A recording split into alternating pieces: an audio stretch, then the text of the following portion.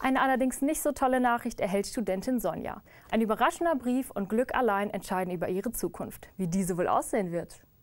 Was ist das? Kaum zu glauben. In ihren Händen ein offizielles Schreiben der Uni Bielefeld. Sonja soll wie viele andere Studenten der Abteilung für ästhetische Bildung die Uni wechseln. Sie ist völlig am Ende mit ihren Nerven. Ich war total geschockt, als ich den Brief bekommen habe.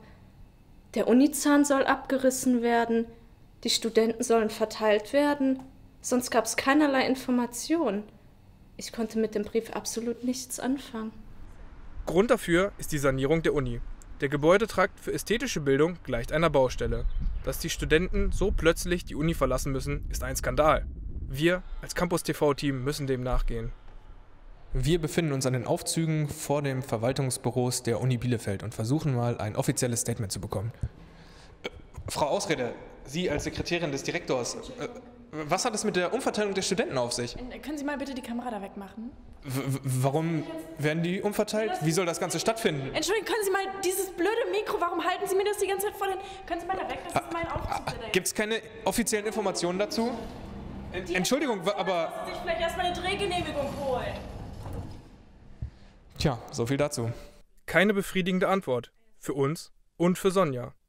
Was ist das für eine Organisation hier? Ich fühle mich absolut im Stich gelassen von der Uni. Ich bin maßlos enttäuscht. Mit diesem Gefühl können wir Sonja nicht alleine lassen. Wir haben uns an Professor Probabilitas gewandt. Sie hat von der Uni den Auftrag bekommen, die Umverteilung durchzuführen.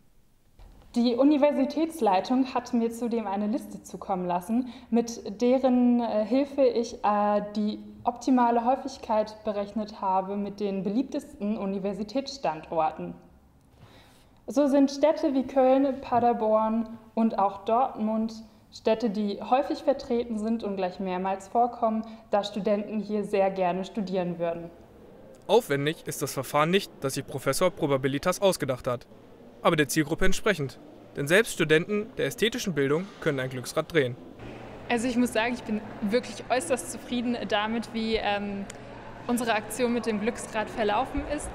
Ähm, wir haben auch eine sehr hohe äh, Quote an Zufriedenheit bei den Studenten, muss ich feststellen. Und das äh, freut mich natürlich sehr.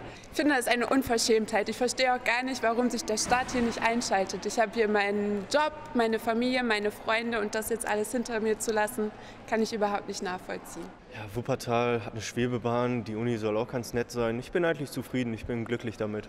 Aber ehrlich gesagt finde ich, es ist ein Unding, dass so ein Glücksrat über die Zukunft so vieler junger Menschen entscheidet. Das kann einfach nicht wahr sein. Also das geht meiner Meinung nach überhaupt nicht. Auch für Sonja sind die Würfel gefallen. Oder wie in diesem Fall, das Rad hat sich gedreht.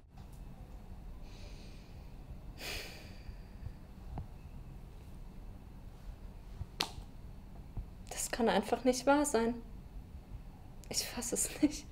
Ich fasse es einfach nicht. Ausgerechnet ich. Paderborn. Wer will schon nach Paderborn? Und jetzt heißt es für Sonja, Taschen packen und den bitteren Gang nach Paderborn antreten.